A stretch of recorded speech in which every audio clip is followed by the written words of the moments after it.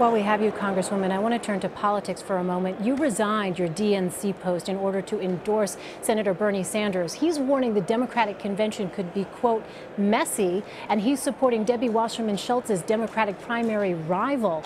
What do you make of that, and what do you think that does to party unity?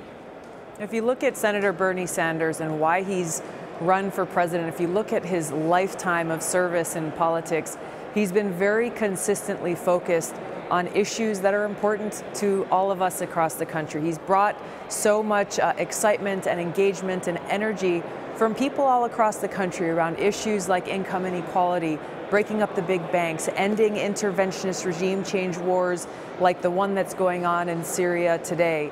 These are the issues that he is continuing to work toward bringing to the American people in the many states that still have yet to cast their vote and to provide that opportunity to the American people to exercise that right, to make sure that their voice is heard both to the Democratic Party as well as to the country about how they feel and what is most important to them. And on the question of unity? Well, this is, this is the, the important point to focus on are these issues on hearing the voices, on making sure that as we head into the Democratic Convention, that the voices of all of these people who are coming, you know, 30,000 people, 25,000 people to these rallies, people who are engaging, some for the very first time, um, that this has not ever been about Bernie Sanders. It's been about making sure that their voices and the important issues that they represent are heard throughout this democratic process. Let me ask you this. We have heard Donald Trump essentially citing Senator Sanders in past days, reusing some of the senator's attacks on Hillary Clinton, that she has, quote, bad judgment, that she is not qualified to be president. Uh, what do you think about that? Do you think that those kinds of attacks where uh, Donald Trump is using Senator Sanders' own words to attack Hillary Clinton is helpful when you look down the line at a general election? Well, I think it's important to hear, uh, to remember who we are trying to help.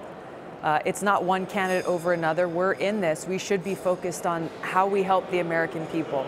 Senator Sanders has brought up clear contrast between himself and Secretary Clinton on a variety of issues. Uh, he has raised uh, his disagreement with her on a variety of issues. I have myself raised uh, the contrast between Senator Sanders and Secretary Clinton on issues relating to war and peace, on issues relating to a no-fly zone in Syria, something that Secretary Clinton supports, something that Senator Sanders and President Obama and military leaders oppose because they recognize that it would take us into yet another endless war that would affect not just the United States but the world.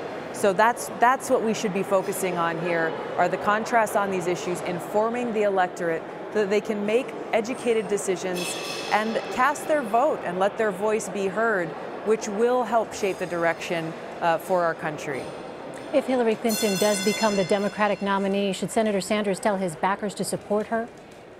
Uh, that's a question for Senator Sanders. I think that he is focused, as am I and so many others, on continuing to inform voters and to earn their support uh, for Senator Sanders as we head into California, New Jersey, Montana, North Dakota, South Dakota, and other states and territories uh, whose voices have not yet been heard in this election.